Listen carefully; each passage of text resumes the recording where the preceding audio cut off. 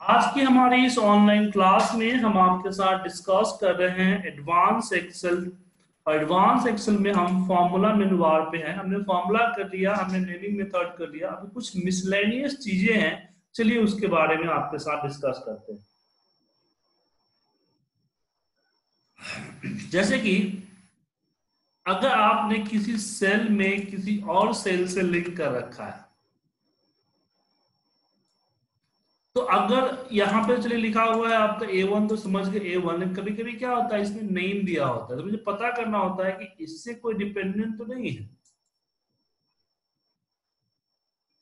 एक किससे डिपेंडेंट है? ये आपको इस इससे पता है पेटेंट से। और डिपेंडेंट्स को करते हैं इसमें रिमूव करता हूँ, इस पर क्लिक करता हूँ।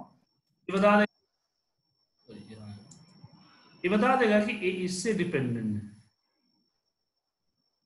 तो जब हम नेमिंग मेथड यूज़ करते हैं तो थोड़ी सी कंफ्यूजन हो जाती है कि आखिर है कहाँ पे?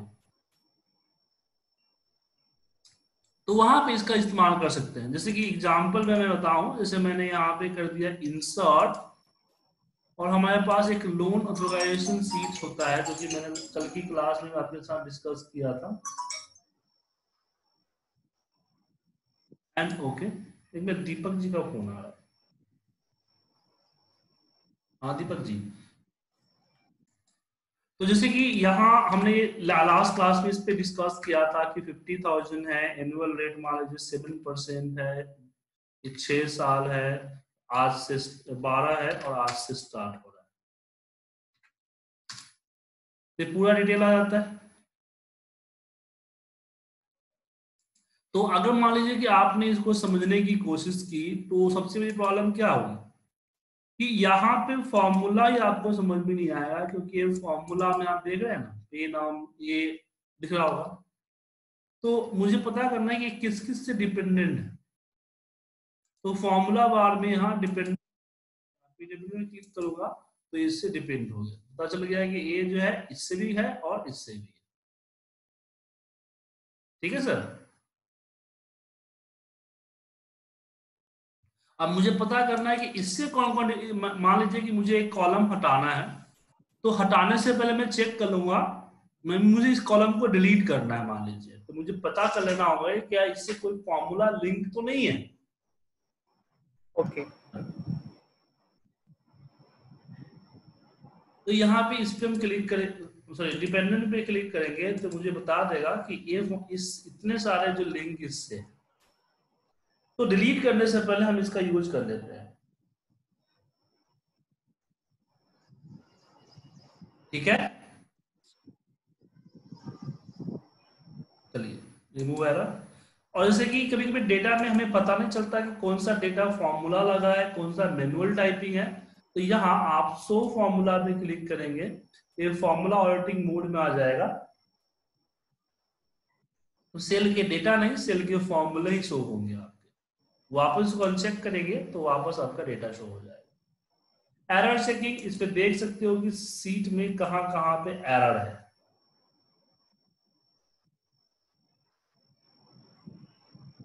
नेक्स्ट करेंगे तो आपको नेक्स्ट एरर दिख यहाँ पे एरर दिख रहा है आपको। क्या एरर है? Protected formula this cell contain the formula and not lock for protect it from the beginning of change मतलब कि प्रोटेक्शन से बाहर अनलॉक्ड कर दिया गया इसको ये देखा रहा है। ओके वो भी एरर मानते हैं सर हम्म। एरर ज़रूरी नहीं कि फॉर्म आपका जो है फॉर्मूला का एरर है ये भी तो एरर ही है ना। तो ये आपका आता है। फिर आता है एवलेट फॉर्मूला ये तो बार बार मैंने यूज़ किया हुआ है। इसे सकते हैं कि आपकी फॉर्मूला किस तरीके से परफॉर्म कर रही है। राइट सर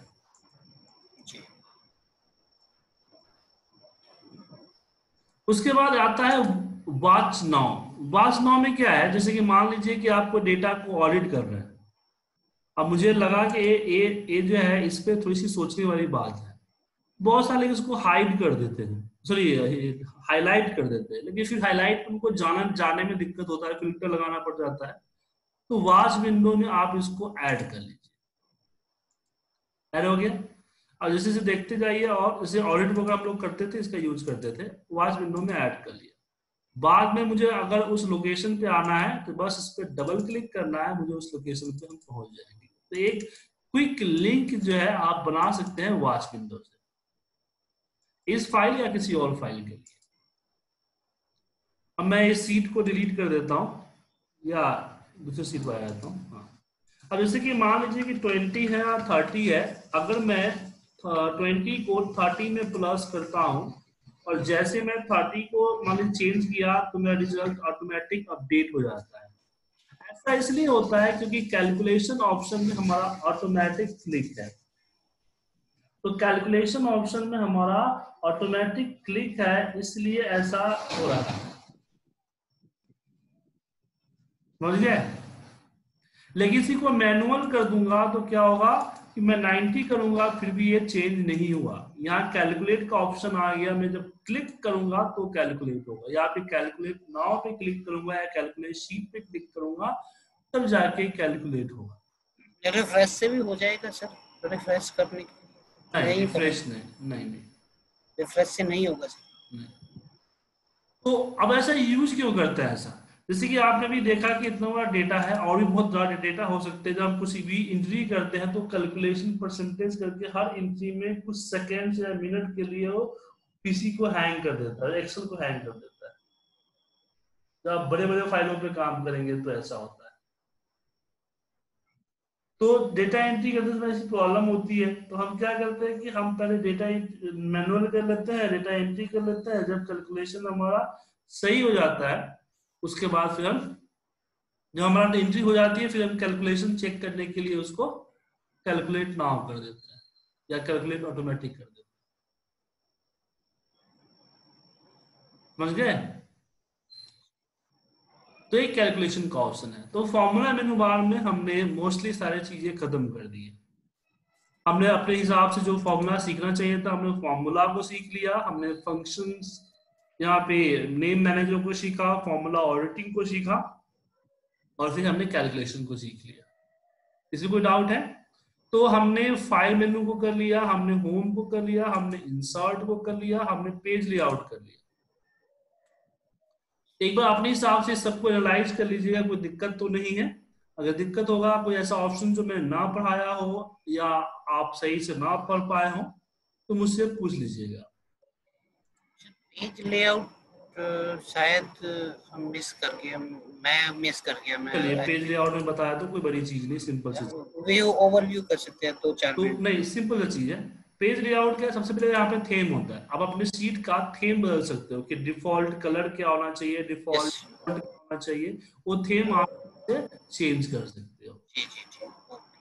उसके बाद आता है जैसे कि पेज की मार्जिन मान लीजिए आप इसको पेज को प्रिंट आउट लेने जा रहे हो तो इसकी मार्जिन सेट करना होगा ना कितना मार्जिन होगा? जी जी वो सब तो यहाँ मार्जिन कर सकते हैं या फिर यहाँ कस्टम पे किया गया है। कस्टम पे जाके उसने डिसाइड किया हुआ है।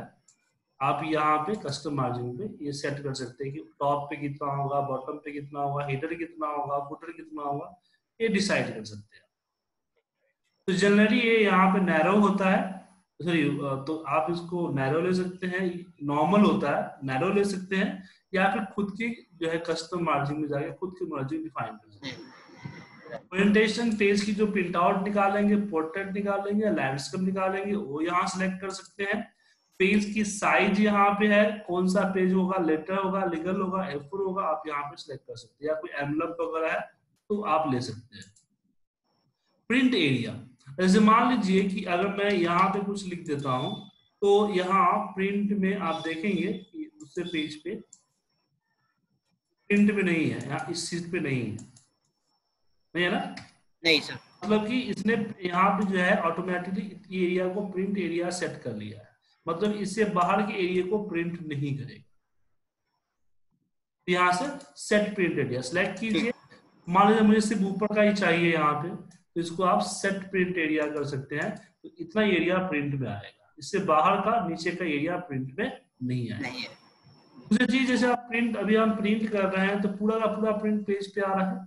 मैं चाहता हूँ कि जो ऊपर वाला पार्ट है ना ये एक अलग पेज पे आए और इसके नीचे बाकी पेजों पे आए। होता है ना कि आपने सभी पहले सीट पहले के लिए एक पेज निकाल लिया कवर लेटर इसको बोलते हैं। फ़र्स्ट सिक्सटीन तक रिपीट हो जाएगी। हाँ। नहीं यहाँ से यहाँ से आप इंसर्ट पेज ब्रेक कर सकते हैं। हमने यहाँ पे पेज ब्रेक ऐड कर लिया। अब क्या होगा कि पहले पेज पे हमारा यही प्रिंट होगा एंड दूसरे पेज पे जो है मेरा बुरा बुरा डिटेल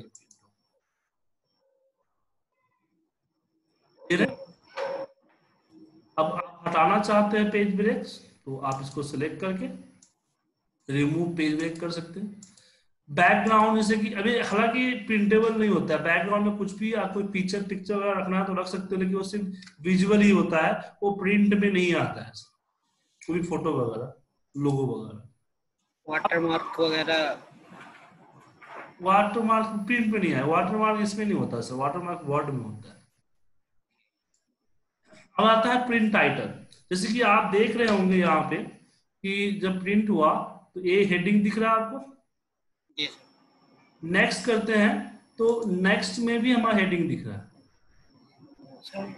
फ़र्स्ट रो को रिपीट किया हुआ है। हाँ उसने फ़र्स्ट रो को रिपीट किया हुआ है प्रिंट टाइटल से। यहाँ प्रिंट टाइटल कर दिया हुआ है तो को रिपीट करेगा। अब इसमें कुछ चीज़ें और भी है जैसे गिर लाइन होते है जो लाइनिंग होती है उसको प्रिंट करना है। जी यहाँ पे लाइनिंग नहीं है ना? प्रिंट करते हैं तो यहाँ पे लाइनिंग नहीं है कोई तो मैं अगर गिर लाइन में यहाँ से भी प्रिंट कर सकता हूँ प्रिंट पे क्लिक कर दिया तो क्या होगा कि अब ये इसमें लाइनिंग आ जाएगी। बाकी कलर्ड है इसमें लाइनिंग नहीं आई है ना? कलर नहीं रहता तो लाइनिंग आया। जैसे बाहर जहाँ जहाँ कलर नहीं है, वहाँ लाइनिंग है। उसके बाद अब हम बात करते हैं, इसमें एक चीज़ और है, यहाँ यहाँ सॉरी प्रिंट टाइटल में देख लीजिए। यहाँ आता है? ब्लैक एंड व्हाइट प्रिंट करना है तो आप यहीं पे सिलेक्ट कर सकते हैं। ओके कर दीजिए। अब आपका जो प्रिंट होगा, वो ब्लैक एंड व्हाइट होगा। देखे। आ गया sir black and white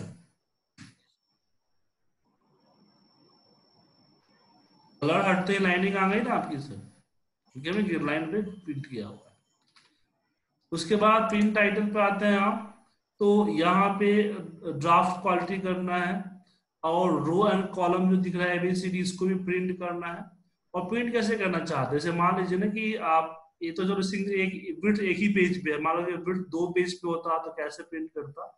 उसके लिए यहाँ पे दिया गया ओके दूसरी चीज़ यहाँ पे ऑटोमेटिक है। कभी कभी क्या होता है कि हमारा जो विर्थ होता है मतलब कि हमारे जो हेडिंग्स होते हैं, वो एक पेज पे नहीं आते। हम उसको सेट करते हैं, फिर भी नहीं आते तो आप यहाँ से चेंज कर दीजिए कि वन पेज ऑटोमेटिक उसको विर्थ को वन पेज पे आ जाएगा। हाइट चाहते मतलब कि जो हाइट है वो कितने पेज में होना चाहिए? आप चाहते हैं तीन पेज पे नहीं दो पेज पे ही प्रिंट हो। तो यहाँ आप अपना दो पेज सिलेक्ट कर देंगे तो दो पेज पे ही प्रिंट होगा। ओके बाकी सब इसके लिए है आ, क्या बोलते हैं अलाइनमेंट है सैप्स की। ये सैप्स अगर आपका ऊपर नीचे आगे पीछे हो तो उसका यूज़ कर सकते हैं। प्रिंट की बात करें, जब हम प्रिंट पे क्लिक करते हैं तो प्रिंट का ऑप्शन है। सबसे पहले यहाँ पे नंबर ऑफ़ कॉपीज है कि आप इसकी कितने कॉपी निकालना चाहते हो। यहाँ से आप प्रिंटर सिलेक्ट कर सकते हो कि आपका प्रिंटर क्या होना चाहिए। और प्रिंटर की प्रॉपर्टी सेट करना चाहते हो तो प्रिंटर प्रॉपर्टीज़ पे क्लिक करोगे तो प्रिंटर की प्रॉपर्टीज़ आपको यहाँ आ जाएगा। ठीक है? कि प्रिंट की क्वालिटी क्या होनी चाहिए? यहाँ पे पेपर हमने प्लेन लगाया हुआ है ऑटो सेलेक्ट हो लेटर साइज़ है हमारा, ठीक है ना? तो जो प्रिंटर की सेटिंग होती है, वो प्रिंटर की सेटिंग आप यहाँ से कर सकते जैसे आप फिक्स करना चाहते हो बोथ साइज़ तो बोथ साइज़ जो है प्रिंट ऑटोमेटिक करेगा तो यहाँ पे क्लिक कर दोगे तो बोथ साइज़ एक के पीछे, एक के पीछे करेगा। लेकिन प्रिंटर उसके लिए सपोर्टेबल होना चाहिए। उसके बाद यहाँ पे प्रिंट आपको एक्टिव सीट करना है या फिर इंटायर वर्क को या जो सिलेक्ट किया हुआ है एरिया उसी को प्रिंट करना है। तीन ऑप्शन यहाँ सिलेक्ट कर सकते हैं। प्रिंट वन साइड करना है या बोथ साइड करना है। मतलब आगे पीछे भी करना है कि एक ही साइड करना है। बट प्रिंटर कंपेटेबल होना चाहिए तो इसलिए कर पाएँगे। हर प्रिंटर पे फैसिलिटी नहीं होती है। दूसरा कोलेट जैसे मान लीजिए कि ये कितने पेज है, दो पेज का है। और मैंने पाँच कॉपी निकाला निकालना है। तो कोलेट में अगर हम एक कोलेटेड में किया तो क्या होगा? पहले दो कॉपी निकालेगा, फिर दो कॉपी फिर दो कॉपी फिर दो कॉपी मतलब one two page one two फिर वन टू ऐसे पाँच बार प्रिंट करेगा। यहाँ पे अनकोलेटेड कर दिया तो क्या होगा? पहले एक पेज नंबर एक की पाँच कॉपी निकालेगा, फिर पेज नंबर टू की पाँच कॉपी निकालेगा, फिर आपको उसको कोलेट करना पड़ जाएगा। ठीक है? तो बहुत ज़्यादा मान लो पाँच सौ पेजेस की होती है तो उस केस में हम यहाँ पे कुलेटेड यूज़ करते हैं। यहाँ पे लैंडस्केप इम्पोर्टेंट तो वहाँ भी select orientation orientation custom scaling क्या होना चाहिए? No scaling fit to sheet one page fit to all column in one page fit to all rows one page यहाँ पे आप स्केलिंग सिलेक्ट कर सकते हैं। या आप पेज सेटअप पे क्लिक करेंगे तो आपके सामने पेज सेटअप का ऑप्शन आ जाएगा। ठीक है? मार्जिन है हिडर फुटर में क्या डालना है वो डाल सकते हो शीट से आपके। तो यहाँ से इसका सेटअप कर सकते हो। तो पेज लेआउट समझ में आ गया? जी सर जी सर। ठीक है।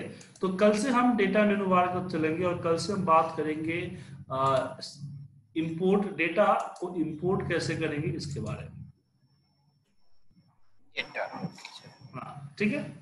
तो मिलते हैं कल सेम टाइम ओके बाय